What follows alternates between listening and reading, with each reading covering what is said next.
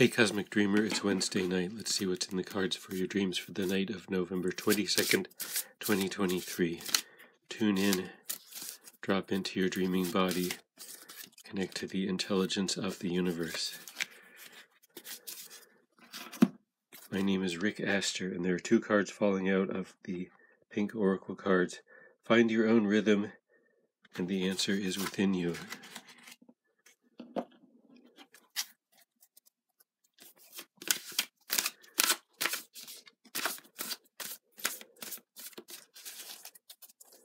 March to the beat of your own drummer. The, the rhythm is within you, the rhythm that you need.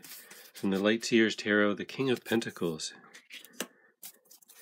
You will uh, achieve success by following your own inner tempo and rhythm. Maybe a dream will show you what your normal, healthy day and week looks like when it's attuned to you. If you attune your life to your own nature, that's what will make you successful. And so, in some form or other, the dream is going to show you what that looks like, what you might do differently. But it's all about tuning into yourself, into your own nature, accepting your nature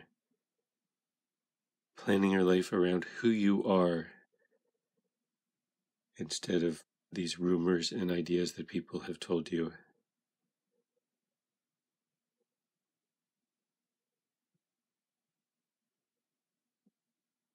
You'll get in tune with yourself, and that's how you'll find your own success. Sweet dreams, Cosmic Dreamer.